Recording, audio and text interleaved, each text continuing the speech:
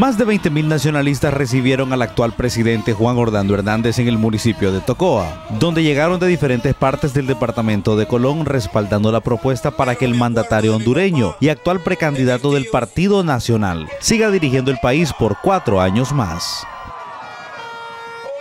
Hoy estamos aquí en Tocoa, Colón, marcando un antes y un después, después de lograr avanzar en el tema de seguridad, después de lograr los presupuestos necesarios para la inversión en vida mejor, atendiendo al más humilde, al que más necesita. Luego viene también lo que ya muchos saben en el departamento, una inversión importante con el sector privado en cítricos, más ampliación en el tema de banano, las carreteras, el puerto y sobre todo, además de lo que puede ser el corredor turístico hasta Atela, viene a Ceiba, pero antes va a salir de Ceiba a Sabá, a Tocoa, a Trujillo, la construcción de una nueva infraestructura que va a ir a pegar a lo que debe ser uno de los puertos más importantes del Caribe, como tenemos planificado que lo sea el puerto de Castilla. Estoy contento porque ya el corredor agrícola va avanzando de Colón a Olancho y está empalmando en los próximos meses a lo que es el corredor seco que va hasta el sur de Honduras. Esa es una vía muy importante para desarrollar el agro en Colón y en Olancho. Pero también es importante que ustedes sepan lo que ya se ha venido gestando y que pronto lo mirarán en esta Semana Santa, el enorme flujo de turistas nacionales a Trujillo y a otros destinos aquí en el departamento. El eh, corredor Atlántida-Colón es uno de los corredores más importantes en el despegue de Honduras. Por eso lo que está gestando en este momento y lo que van a ver en los próximos días va a ser algo que va a marcar un antes y un después. Es de que estoy entusiasta, alegre, pidiéndole a todos también los que así consideren que este 12 de marzo nos acompañen en las elecciones internas del Partido Nacional.